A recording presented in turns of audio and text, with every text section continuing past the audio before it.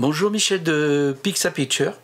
Aujourd'hui, je vais vous parler d'un photographe italien qui a quitté son Italie natale pour parcourir pendant plus de 20 ans tous les pays de l'Europe de l'Est. A tout de suite.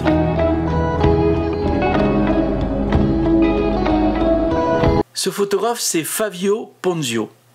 Il est né en 1959 en Italie. Alors le virus de la photographie va lui venir de vacances qu'il va faire avec ses parents. Ses parents ont décidé de visiter tous les pays des Balkans, alors ils vont revisiter l'ex-Yougoslavie, la Roumanie, la Pologne, etc. Et pendant ces vacances, son père euh, euh, l'initie à la photographie et son père a un appareil photo, un Voigtlander, et plus exactement le Bessamatic. Alors je connais bien cet appareil photo parce que c'est le premier appareil photo que je me suis payé euh, dès que j'ai pu commencer à faire de la photo. Alors c'est un, argentique évidemment, format 24-6, fabriqué en Allemagne. Donc il va faire des photos avec son père qui va lui montrer un peu comment faire. Du coup en rentrant il décide qu'il va devenir photographe.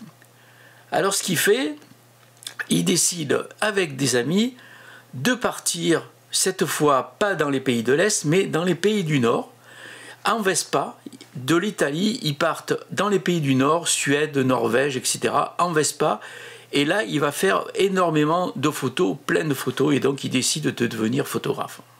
Alors là, on est en 1977. Trois ans plus tard, en 1980, il devient photographe professionnel et il devient photographe de presse professionnel.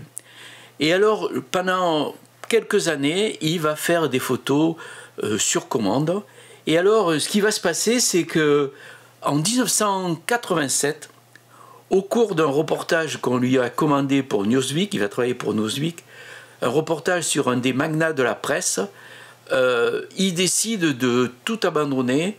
Euh, ça lui plaît plus. Il trouve que sa liberté, il a plus de liberté. Le fait que on lui commande des photos qui sont obligées de se plier aux commandes des magazines et en plus les sujets qu'on lui demande l'intéressent que moyennement. Donc là, il va y avoir quelque chose, une rupture. Il va décider de tout laisser tomber. Et pendant, tenez-vous bien, pendant plus de 20 ans, pendant 22 ans, il va partir avec un Leica et des Nikon. Et il va couvrir tous les pays de l'Europe de l'Est. Alors, il va à la fois voir les dictatures communistes, notamment celle de Ceausescu, enfin, si on peut appeler ça communiste. D'ailleurs, il va être emprisonné là il va voir les régimes en Pologne, il va voir en Albanie, il va aller même jusqu'en Russie, il va faire tous les pays de l'Europe de l'Est, et cela pendant plus de 20 ans.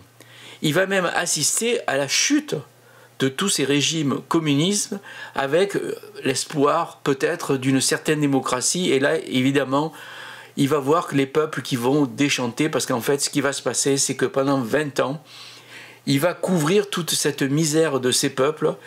Beaucoup, notamment sous Ceausescu, qui carrément crevaient de faim.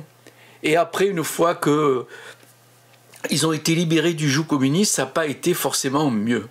Alors, ce qui est intéressant avec les photos, euh, qu'il va faire, il va faire ça uniquement ça pendant 20 ans. Alors, il raconte que ça a été très difficile parce qu'évidemment, il ne gagnait pas d'argent. Alors, on ne sait pas bien comment il a vécu euh, comme ça, en pouvoir faire des photos pendant plus de 20 ans euh, sans avoir un métier. Il n'en parle pas, il dit, simplement qu'avec sa famille et ses amis, ça a été souvent très difficile. Mais il va rentrer en symbiose avec tous ces pays, tous ces gens de, ces pays de l'Est, et il va être touché par à la fois leur résilience, par leur foi, leur, à leur foi souvent catholique, souvent ils sont très religieux, et une espèce de fatalisme, mais aussi en même temps une espèce de joie de vivre. Alors il va photographier tout. On va voir euh, des enterrements, des communions, on va voir euh, plein de, Même au niveau de l'armée, on va, va, il va couvrir ça pendant plus de 20 ans.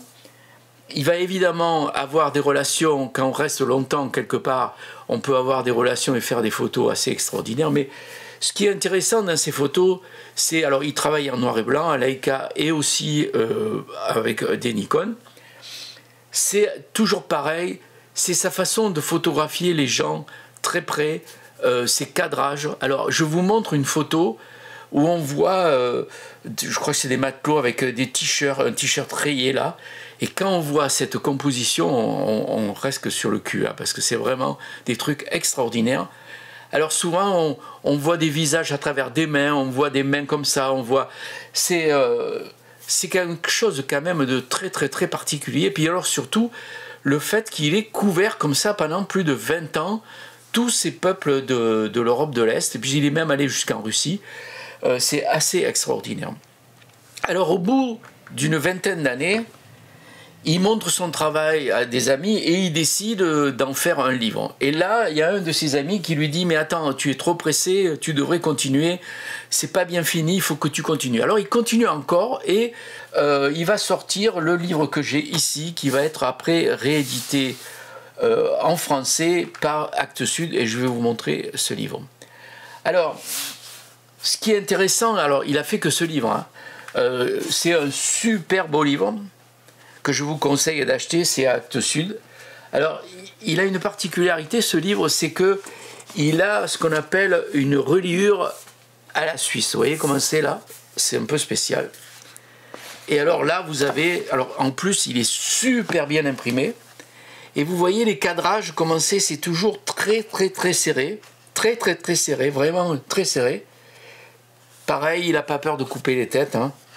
Donc vous voyez, on voit là, donc là, c'est sûrement en Russie. Là, les bonnes sœurs.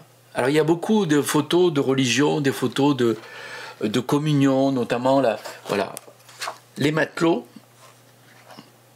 Vous voyez un peu les cadrages, c'est quand même assez extraordinaire. Regardez ici, en bas, en bas à droite, à gauche, pardon. Vous voyez?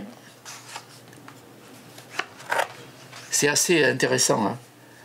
Donc là, vous voyez, là, c'est sûrement un enterrement, des manifestations. Alors, il a été emprisonné, il ça n'a pas été toujours facile pour faire des photos. Hein. Voilà, donc là, vous voyez, il y a des militaires, des morts aussi, quelques portraits. Alors, toujours des intérieurs très simples. Là, ça me fait penser à une photo là, de William Kang avec un gamin qui tire là comme ça voyez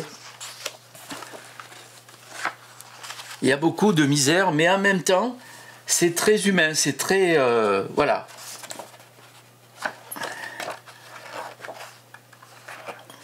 Alors, le texte est en français, avec une préface d'Herta Müller, qui a eu euh, le, un prix euh, Nobel, je crois, de littérature. Voilà. Alors, regardez un peu ces, ces cadrages avec les mains comme ça, vous voyez alors, il a fait que ce livre, donc euh, voilà, il est jeune, hein, il, est, né en 59, il continue à travailler. Alors il a été, il a eu plusieurs prix, notamment il a eu un prix euh, décerné par Leica. Il a eu plusieurs prix euh, et notamment il a été récompensé aussi à Arles. Voilà. Alors, j'ai pas beaucoup d'informations sur lui. Il est assez discret d'ailleurs, notamment sur la façon dont il est arrivé à vivre sans avoir de boulot fixe, tout en tournant comme ça euh, dans tous ces pays de l'Est. Euh, mais je vous conseille de regarder ces photos parce que vraiment ce sont des photos extraordinaires. Moi j'adore, c'est évidemment tout en noir et blanc. Hein. Donc notamment cette photo, j'adore la photo de cette fillette. Ça doit être une communion solennelle euh, puisque tous ces pays étaient quand même euh, malgré le communisme, était très religieux et la religion catholique, notamment en Pologne, était très présente. Voilà un peu le portrait de Fabio Ponzio, un Italien qui s'est intéressé à tous les pays de l'Europe de l'Est. Alors, j'espère que cette petite vidéo, toute petite, vous a plu. Euh, je pense qu'on va sûrement re-en entendre parler de ce photographe, de ce jeune photographe, de ce Fabio. Euh, regardez un peu son travail. C'est vraiment, vraiment formidable. Je vous laisse, portez-vous bien et on se retrouve bientôt pour un nouveau portrait de photographe et aussi pour le MAC du mois d'octobre que je prépare intensément. Allez, salut, ciao